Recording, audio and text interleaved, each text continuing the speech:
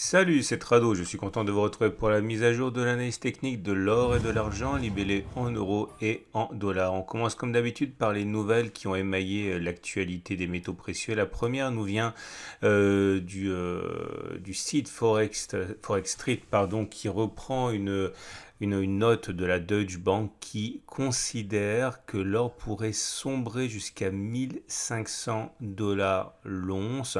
Revirement important pour la Deutsche Bank qui était euh, une des institutions bancaires la plus optimiste, voyant l'or à plus de 2000 dollars il y a encore quelques mois.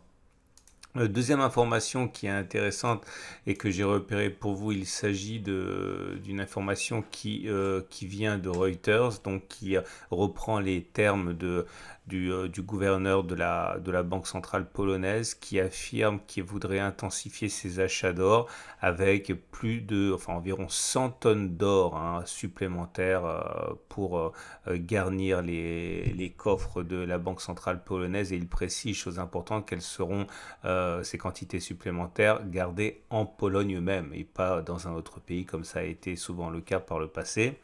Et dernière chose, et c'est presque loufoque, euh, la Turquie, le gouvernement turc envisage de collecter 20 tonnes d'or en mettant à contribution euh, les bijoutiers tout simplement. Chaque bijoutier devra mettre 500 grammes d'or dans les coffres de, de, la banque euh, centrale turque.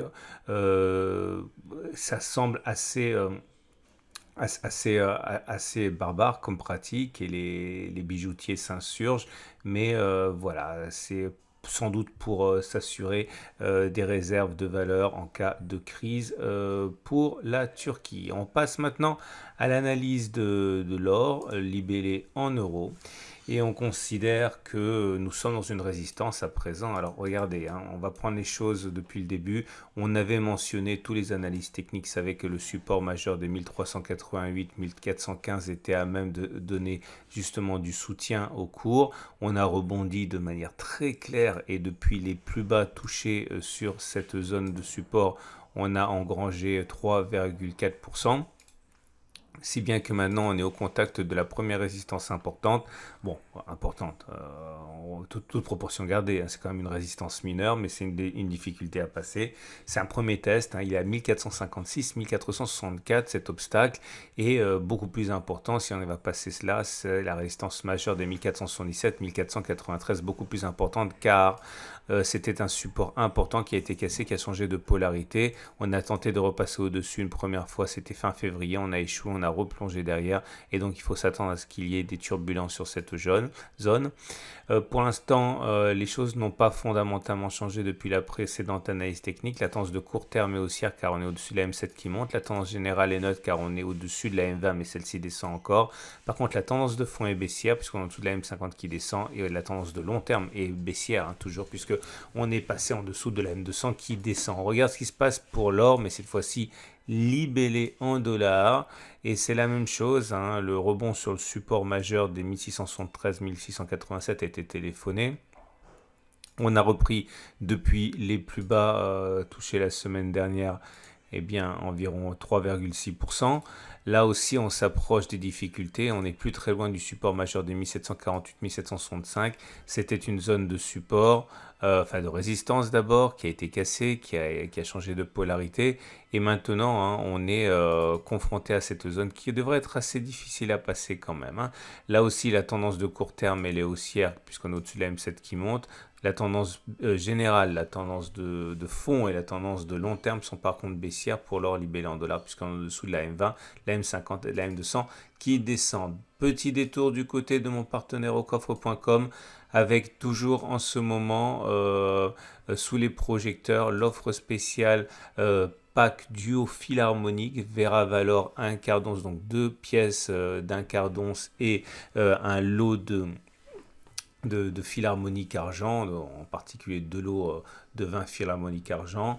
Euh, je rappelle que euh, ce pack permet de valider le, LSP, c'est-à-dire qu'elle permet en fait d'être achetée et d'éviter de, payer des, des, droits de garde. Hein. Et on passe tout de suite à l'argent, l'argent libellé en euros. Et l'argent libellé en euros est toujours entre deux eaux. Hein. La tenue est bien meilleure que pour l'or, on sait, on en a beaucoup parlé. Euh, on est au-dessus de la M200 qui monte. Par contre, les moyennes mobiles à 20 à 57 se tiennent dans un mouchoir. Donc clairement, la tendance de long terme est toujours haussière. La tendance de, court terme est neutre car on est en dessous de la M7 qui monte. La tendance de fond est neutre car la M50 est plate. Et la tendance générale est baissière puisqu'on est en dessous de la M20 qui descend. On n'est pas sur une zone d'accumulation rationnelle. Hein. La zone d'accumulation rationnelle, elle est là, elle a, il a 20, 20,6. C'est un retour sur cette zone qui devrait normalement être mis à profit par de nombreux investisseurs. On passe et on termine avec l'argent libellé en dollars et l'argent libellé en, dollars est dans une situation assez caractéristique de, de, de, de neutralité aussi. Hein. Donc, euh, alors on est venu toucher à peu de choses près le support précaire des 24, 24,8. Euh, C'était la zone d'accumulation rationnelle. Euh, maintenant, la tendance de fond est toujours haussière. On est au-dessus de la M200 qui monte. Enfin, la tendance de long terme est haussière. La tendance générale est baissière car on est en dessous de la M20 qui descend. La tendance de fond est baissière car on est en dessous de la M50 qui descend. Et la tendance de court terme est neutre car on est en dessous de la M7 qui monte. Bon, clairement, euh, c'est euh, globalement neutre. Hein. Voilà ce qu'on pouvait dire pour l'or et pour l'argent libellé en dollars et en euros. Je souhaite une excellente journée et je vous dis à samedi pour la mise à jour.